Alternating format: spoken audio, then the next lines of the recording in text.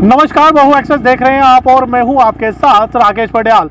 उधमपुर ज़िले के तहसील लाठी से एक बड़ी खबर सामने आ रही है। चार मंजिला मकान को अचानक आग लगी है। क्या है पूरी वारदात हमारे साथ? सरपंच हैं डूडू के हंसा जी, इनसे बात करने की कोशिश हम करेंगे कि आखिर किस तरह से ये आग लगी और कितना नुकसान जो है इस मकान को हुआ है। सरपंच साहब बाहू एक्सेस से बोल रहे हैं, ये बताएँगे क्या, कौन सी जगह है ये और कितने मंजिल मकान है, किस तरह के नुकसान जो है वो मकान को हुआ है?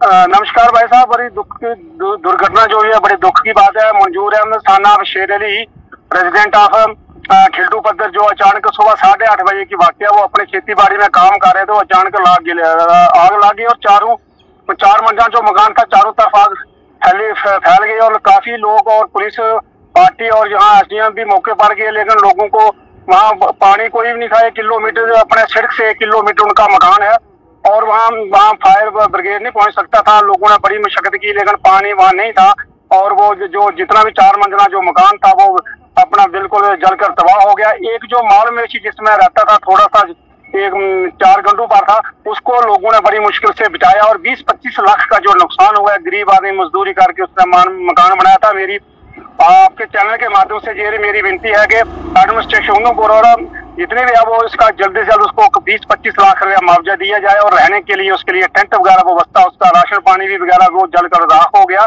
और बड़ी एक दुख की बात है। हंसा जी जी ये बताएँ कि क्या ये अकेले मकान था या इससे आग लगने से कई और भी मकानों को नुकसान पहुँचा है?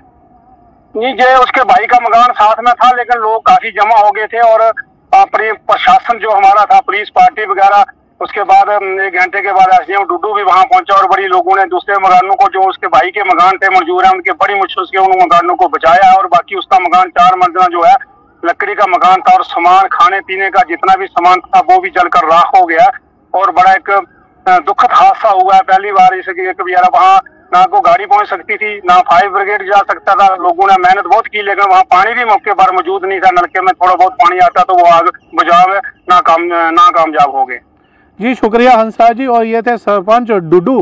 हंसराज जी, जो हमारे साथ फ़ोन लाइन पे मौजूद है इनका कहना है कि काफ़ी कड़ी मशक्क़त के बाद जो है आग पर काबू पा लिया गया है, लेकिन जो मकान चार मंजिला जो है वो पूरी तरह से जल के राख हो गया। फ़िलहाल कोई किसी की जान नहीं इस आग में गई है, ना ही कोई व्यक्ति इसमें घायल हुआ है, लेकिन जिला प्रशासन के जो डूडू एसडीएम है वो मौके पे पहुँचे हैं। अब तारीफ़ करनी होगी जम्मू कश्मीर पुलिस के जवानों की, जो कि पैदल एक किलोमीटर का सफ़र करके वहाँ पहुँचे हैं। लोकल्स लोगों के मदद से जो है इस आग पे काबू पाया गया है, लेकिन नुकसान जो है, एक पूरी चार मंजिला मकान जो है वो पूरी तरह से जल के राख हो गया है। कैमरामैन रोहित के साथ राकेश वड्याल की ये खास रिपोर्ट